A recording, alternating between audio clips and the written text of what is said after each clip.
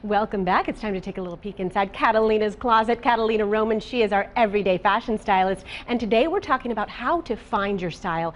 Kat, how do we do that? Because there's a difference we want to point out between style, personal style, and what's in fashion or trends.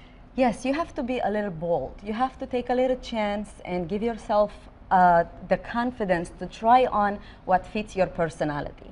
Fashion is all about rules and boxes and you're boho chic for example you're going to try to wear the same thing all the time and over and over. But style is all about breaking the rules. So first thing you want to do though is you do want to look and find your inspiration from various fashion trends. Yes you uh, you uh, find the celebrity or um, a fashion blogger or I'm sure nobody noticed, but I'm pretty short. So I would go and I would look for short celebrities on Tumblr, for example, and see their style and then just make, put together a little, little fashion diary. Yes, and then just you can see how your style evolves from there, from day to day. So when you run out of inspiration and you're like, what am I going to wear today? You just look at your at the, the, pictures that you've been taking before. And I here have, we have Julie, and Julie certainly found her own style. Yes, Julie is very outgoing and she's bold. She has a great personality, so she has a little touch of animal print and bright colors and a embellishment on the front. And she said she loves to wear this dress at nighttime or in the daytime and uh, she can dress it up and dress it down. So it's it's her favorite piece on her closet. I can see why. That is beautiful. We're going to go over to Deborah now because she's got JoJo standing by. She certainly has found a beautiful dress. That's right. JoJo, you know, JoJo told me that she saw the skirt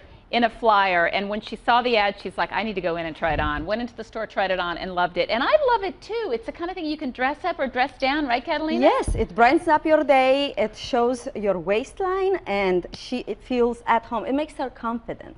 When you go in a room you want to own the room. You want to just be yourself and that's how you find your style. When you pass by the mirror and you look in the mirror and you say that's me it's not a trend that I'm following it's it's me and it shows who I am. So that's just you know what? It's funny that you say that because sometimes I'll look at something, I'll say, you know, I know that'll work with my body type.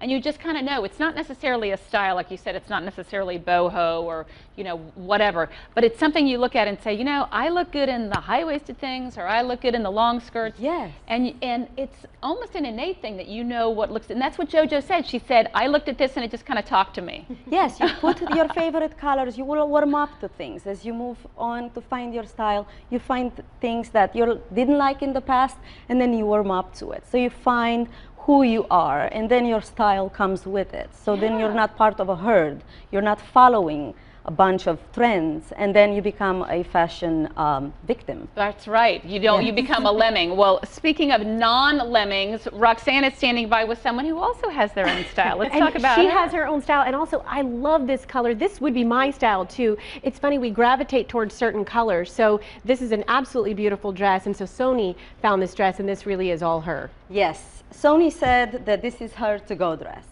every time when she wants to put something on, look sexy, show her personality. It has a great detail. The lapels are a very great cut, and then it's cinched at the waist and with a nice high-low hem.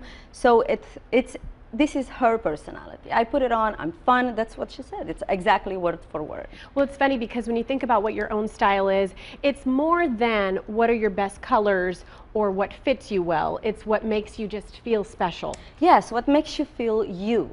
We keep co copying celebrities, but we forget that celebrities have stylists that are paid by the designers and to tell them what to wear. So they look, they don't even get to have a say in it. We actually have that luxury of putting it together and trial and error. It's stylish trial and error. Just hey, go. I'm bringing them in so oh yes, yes. So everybody can so see everybody. Gorgeous. Love and it. The, the bottom line is, Catalina, you need to find out what you like and go with it. Don't box yourself into a style. Yes, don't stay in a box be bold and try things out, rebel against the fashion. Get, get out of the box rebel. and rebel. rebel. I like that. It.